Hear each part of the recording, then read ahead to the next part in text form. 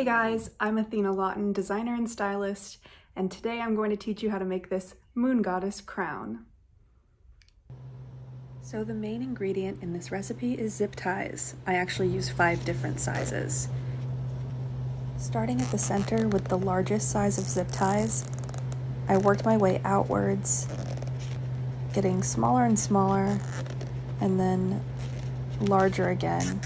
But then when I made the next row of peaks, I used less of the large zip ties. So you can see I only used two, where the first time I used three. And so then the next time we go back out again, this time I'll just use one of the larger zip ties instead of two. So this variation in texture is going to help it feel like a radiating beam of light. So then we're going to take the biggest zip tie of all. I used a really gigantic zip tie here. And then I just put a, a row of eight inch zip ties onto it. So this time, not varying in size, just a solid row of eight inch zip ties. And this is gonna create the back layer for the crown.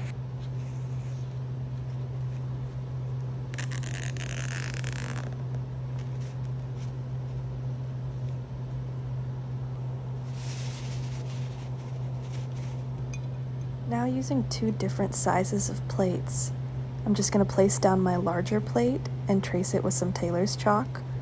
And I'm using um, EVA foam here, but you can also use craft foam, or you can use cardboard or foam core board. Any of those will be fine as well.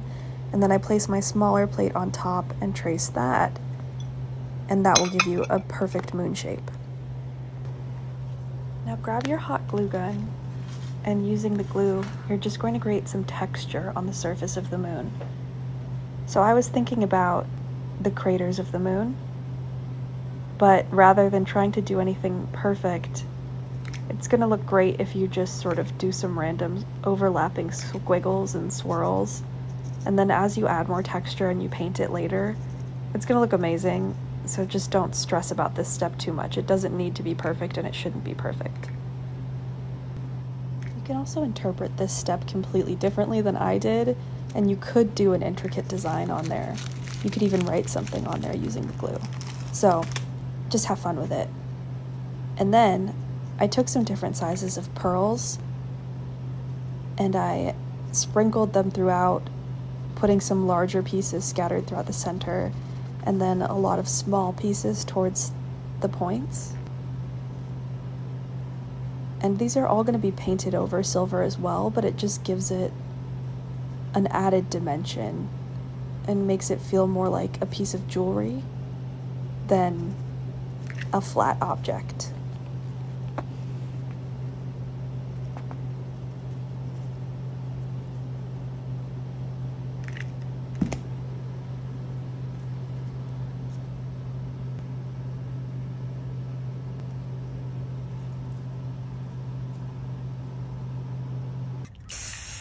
Next, we paint the moon. I used a silver spray paint for this. And then paint the radiating beams of light with the silver as well. And then using a flat gray, I painted the back row and did a blue ombre on the top. Then I hit some pieces of polyfill with just a few hits of blue and purple spray paint. Now's the time to attach the back layer to the front, and for that you're going to need some ribbon. I used silver to match the crown. And then I just did a, a row of glue and then wrapped that in ribbon for extra security. And also to cover the seam and the glue.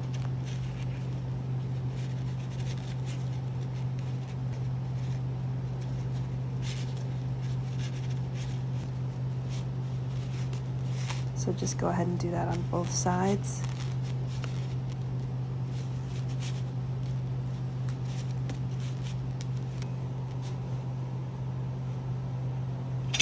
And now the fun part. So I placed my moon to figure out where I needed the glue to be, and then put rows of glue on the spikes that the moon is going to be sitting on.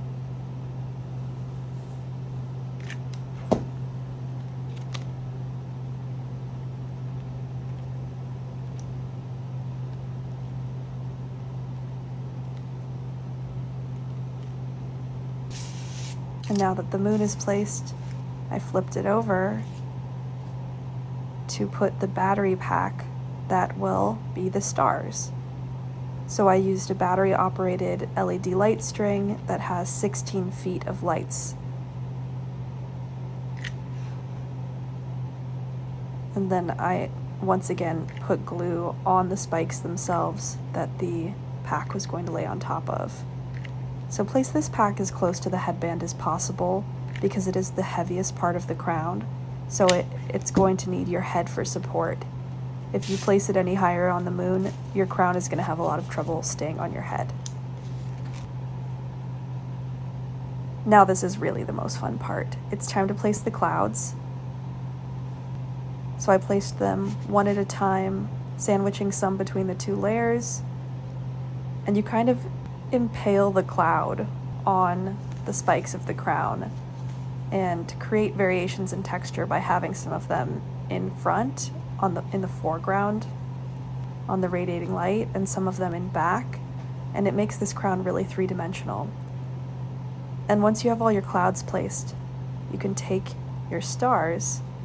And so what I did was I wrapped the wire around my finger to create bundles and then I pressed the wire flat. And then I had little sections that were easier to place behind the, the clouds. And I didn't want any stars to be showing from outside of behind the clouds. So that's kind of how I planned my placement was just every time there was a light, it would be appearing from behind a cloud to sort of soften and diffuse it. And so once I got all of that placed, I did a few dots of blue in each section just for added security. And that's it.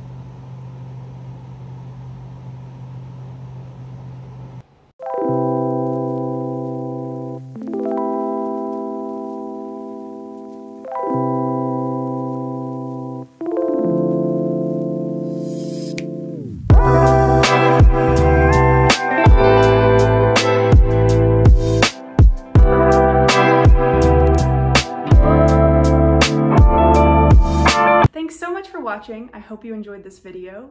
If you liked it, please hit that like button. Please subscribe to see more videos of me making arts and crafts projects. And head over to my TikTok where I teach tutorials in 60 seconds or less.